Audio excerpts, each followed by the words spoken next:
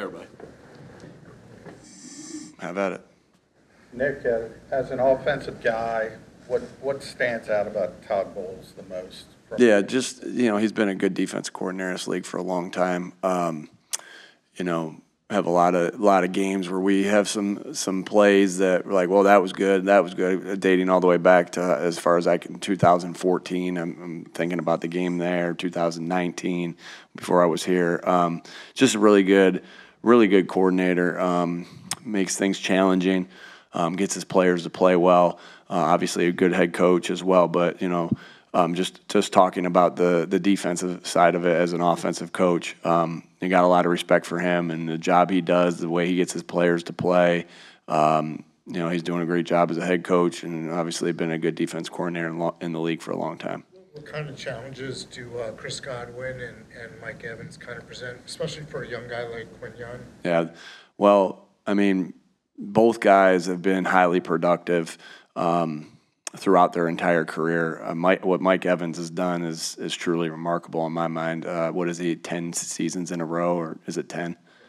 Um, with a thousand yards, that, that's uh, that to me that's kind of unheard of. Who's who else has done that?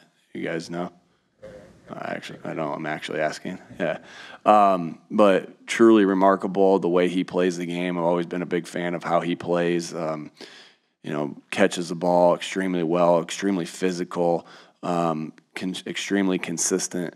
Um, and then Godwin just, you know, being able to move, he moves around, being able to play in the slot, play where, wherever. He's just a versatile um, wide receiver that's, you know, had a lot of success in the slot. So the, um, yeah, they, they, they create challenges because they're they're big time players, and we'll have to be we'll have to be on it. Um, like I said, I know Q doesn't um, react. Like Q gets to go against AJ and DeVonta every day, and Q is um, a guy that is not um, fazed by the moment. So this is a big moment in his career, but I know he will, uh, he'll be ready to play and won't be fazed. But I can't say enough good things about those two guys and the and their style of you know the Chris Godwin and um, and Mike Evans and their style of play and. Man, I I, pro- I got a lot of those two guys on teach tapes. Uh, I know that just with uh, with the way they go about their business and the way they've went about their business for years now. What have you made of the week of preparation from the depth receivers in the absence of A.J. Brown and DeVonta? obviously still uh, waiting to see where where they are and um, you know what their status is going to be. Um, but you know they've been you know a lot of guys have gotten some really good reps this week, and you know we've we've obviously needed that. Um, and so excited if it if it does come down to those guys being out, then excited for these guys' opportunity. They've worked hard, um, and uh, you know, it's going to be, it's going to take everybody, right? It's like I said before, it's not, hey, here's how you replace DeVonta's production. Um, you know, it, it's going to take the entire group to do that, and that's the entire group, uh, wide receivers, uh, tight ends, and running backs, because you know, obviously he's a special player, um, and so just again excited, for, bummed uh, if it does come to the case that you know they're out, but um, excited for the guys' opportunity and because they've they've worked hard for this opportunity. Is Lane going to travel? Uh, yeah, we're still waiting to see uh, where he's going to be. Um, I know it's a different way of asking me if he's going to play. No, it's, Uh, it's, it's, it's asked that way because if he can be clear while he's down there. Sure. Um, we'll see. We'll see. Um, we'll see. Uh, these guys are doing everything they can do to get back. Um, everything they and their and their ability to get back. Um, obviously, different uh, situation with guys in the the protocol. Won't won't comment on that, but um, yeah, we'll see. Today will tell a lot. Nick, I don't know if you saw the story about Dan Campbell having to, you know, move his house. Um, What, how hard is it for your family to be, for you to be somebody who everybody in the city sort of has an opinion about? Um, you know, um, my my I'm we're good. Like I, I you just try to any block out anything because there's no way that there's a zero percent chance that you can make everybody happy about about it's just the way it is. It's the way leadership roles are. Uh, leadership roles are are what they are, and um, you know you do your best to lead the men in the room and not concern yourself with anybody on the outside uh, an outside's opinion. You just put your head down, you work. You understand that there's not going to be uh, instant gratification of uh, anything. It's a long process, and you just you tr- just continue to try to get better. Um, that's been my approach. Um, thankfully, my wife doesn't pay much attention to um, the media, uh, fans, anything like that. She just, you know, I, I, th- I think one of my friends said this one. She's she's not she's not as impressed with me as I as I'd like for her to be. Um, but that's a good thing. Like she just she's she's working on raising three kids. Uh, and I'm not there a lot, and she does a hell of a job raising our three kids. And um, I got a great partner in this um, with her, um, who's always, always, always been supportive, but also not. And she doesn't ride the she doesn't ride waves. Uh, I know that she doesn't ride the waves of the season. She um, she is steady, and I, and I need that. Uh, I need that when I when I'm able to go home, and she is steady. Of you know, not too high after a win, not too low after a loss. Um, not going to be con- doesn't have time to be concerned about it, what anybody else is saying. She knows I know what she feels about me. I know what f- I feel about her.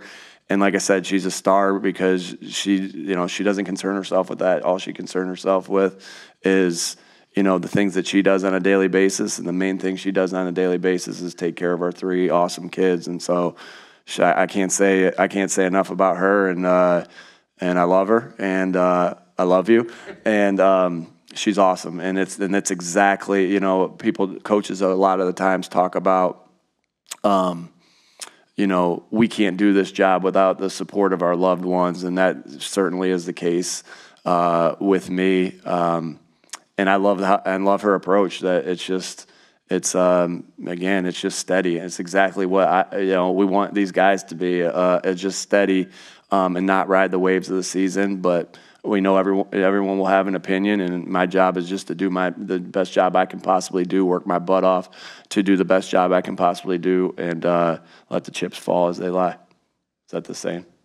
Not really. Nick, Nick, you get to see a side of Jalen, obviously, we don't get to see. But in times where he's being criticized, the team's being criticized, how do you, what do you see from him behind the scenes on how he leads the team and maybe helps others? Yeah. Um, again, I, I just think that he just does an unbelievable job of putting his head down. It's the same deal. I think he just puts his head down and works every single day. Um, but we understand that's that's this business. Like um, you know, the quarterback, the head coach, they're they're going to be criticized, right? And and that's that's what we signed up for. We and but we do this for the people in the building, right? And we we do these for the the the, t- the team that we that we are are on. Um, and I just see him just consistently come to work, be the same guy every single day. Um, no, he he works so hard to be better at to continue to get better um, through everything that he does. I told you what I felt about. I mean, he's a winner. Um, you know, with the record that he has, I think I, I laugh a little bit at criticism. I mean, I mean, look at his record. Um, look what his record is in the past. You know, since the beginning of 2022. Take 21 out of it. Look at the three times he's led his team to the playoffs. So I laugh a little bit at the criticism, um, but I also understand that there's criticism. It's not just Jalen getting criticized. Every every quarterback with any mistake they they make are going to get criticized, and criticism kind of um, appears more than the the praise sometimes, and that and that's you know our job is to win football games and not concern ourselves with anything else. And I just think that he's just done such a good job of of being able to block out anything praise, um, criticism, to be able to to you know I guess you know not not eat the poison of that and just continue to go about. We're we're judged on you know he's going to be judged on us us winning and losing and and um, you know and playing well good football and I think he's played really good football.